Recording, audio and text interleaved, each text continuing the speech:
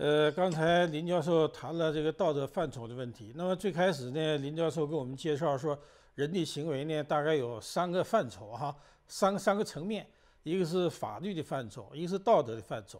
那在法律和道德范畴满足的情况下，才有个自由选择、自由选择权的问题。那么，请林教授介绍一下有关这个自由选择权，那我们如何来来行使这样一种权利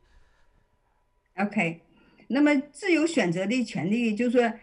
他你这样做没有违法，没有法律的后果，呃，也不会受到舆论的谴责啊，公众的这个舆论或者是媒体的这个批评，这种哈，这个时候才是你自由选择的这个权利。嗯，但是现在我们要知道呢，就是我们很多的自由是受到限制的。呃，最重要、最根本的一个自由，美国人享受的就是言论自由。但是这个言论自由呢，呃。到底是不是就完全是你的自由呢？还是说有哪些最后还是违法了，或者是引起这个道德舆论的批评了？啊，一个例子呢，就是最最近也是发生的。那么就是你焚烧美国国旗，啊，在公共场合这样做，这个是法律的问题，还是道德的问题，还是自由选择的问题？那么在今年这个国庆节的时候，呃，这个总统在独立日庆典上讲完话之后。呃，有人就在白宫外面烧了一面美国国旗，嗯，那么按照法律来讲，美国原来是有保护国旗法的，但是后来呢就被人起诉了，起诉了就说你这个法律是违宪的，我焚烧国旗是要表达我的一种观点，我对政府的政策不满，这是我的言论自由，所以说最后呢，嗯，美国最高法院是以五比四，就是说你这个呃。禁止焚烧国旗的法律是违宪的，因此从那以后呢，就可以烧国旗了。但是国旗是作为一个国家的象征，你是不是应该表示尊重呢？所以这样会就会成为一个道德的问题，不是完全你自由选择的问题。所以我看到在那个洛杉矶游行当中，他有的人并不是烧国旗，他只是把这个国旗在地上拖着走，那么就被别的人给制止了。啊，这就是说，当你有这种行为的时候，大家是不接受的，因此呢，就是属于道德舆论的问题，而不是你个人选择的问题了。嗯，那么现在就说我们的言论自由受到了很多的这个限制，在目前的这个大的环境下啊，那么表现在哪呢？表现在很多的方面，比如说你你教授，你在这个。这个上课当中引了一些文章或者是图片，可能会就被引起抗议了啊，甚至要求你去辞职。有的这个报社的这个记者、编辑发表了一些文章，不同意见也被辞职辞掉了啊。呃，有的这个记者就直接告诉你这些话题是不能讲的啊。所以说呢，那么在这种情况下，后来就是也是今年七月份，在这个 Harper。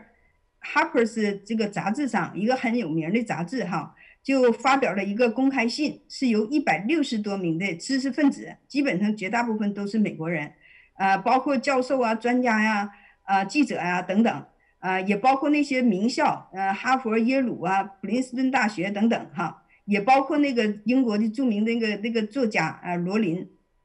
啊，那么他们这个呼吁的就是什么呢？就是反反对一言堂，他们。注意到现在的社会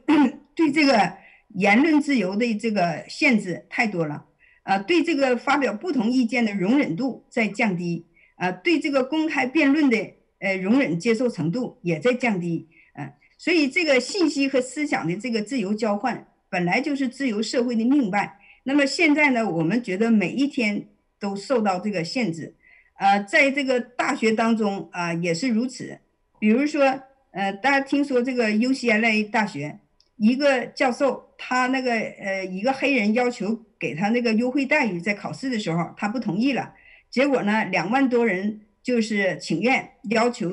辞掉这个教授。后来呢这个事儿呢发酵了之后，过了一段时间，现在又有呃就是五万多人请愿要求恢复这个教授的教职。当时学校怕麻烦嘛，马上就把这个教师给停职了哈。呃，另外一个也是名校，他的这个工学院的这个一个亚裔的学生，他就要求这个院长说要给呃黑人考试的时候，这个可以给他延期。那结果这个院长就说，他说亚裔也受歧视啊，也受过歧视，那么应该一视同仁的对待啊。嗯，结果大家又请愿，就要辞掉这个院长。所以现在就说你要发表一些所谓政治上不正确的言论，而且有的时候也不是政治上不正确，就是你想发表不同的意见的话，可能都会威胁到你的工作，你的职位都保不住。所以现在大家为了这个呃防止这个风险，所以都不敢讲话了。这样是一个呃很不正常的这个现象。那么在五月份那个抗议的时候，东部波士顿那边有一个很有名的音乐学院哈，就给这个允许这个警察呃用了学校的厕所，结果呢又引起这个抗议了。最后呢，呃这个学校的出面道歉，呃说以后不能再继继续这么做了，呃所以这些我觉得它就不是自由选择的这个范围了。大家本来是你的自由选择，但是这个舆论的压力使你不得不违心的去做一些事情，呃，也不敢公开的表达你自己的这个意见了。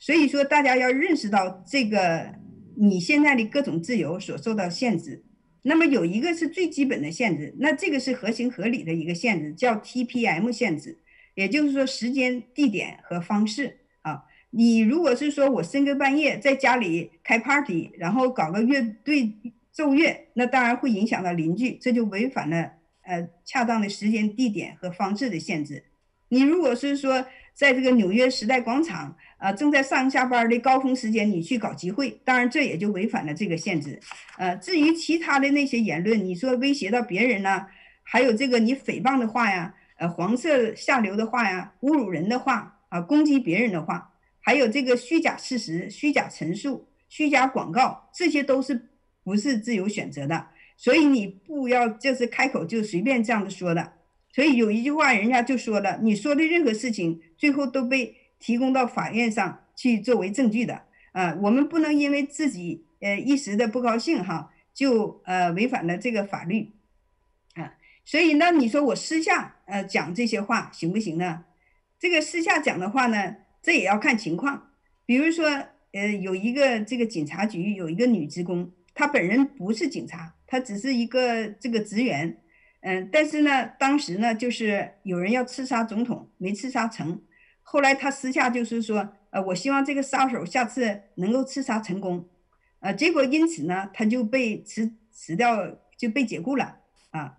那你说像这种情况下，到底是不是他的言论自由呢？啊，而且他又是私下说的，他也没有去煽动鼓励大家真的去那样去做啊。但是呢，警察部门认为说我们是执法部门，我们应该有更高的这个道德的标准啊，所以你这种行为是不符合道德标准的。那么当然了，最后的结果呢，呃，就是导致了这个人去，嗯，就去去法律起诉了啊。当时的那个情况下呢，就是法律会最大限度的保。保护这个自由选择的权利，所以这个人呢，就后来又恢复了工作啊，嗯，那么还有一个这个案例是什么呢？就是说你现在这个被限制，嗯，到什么程度呢？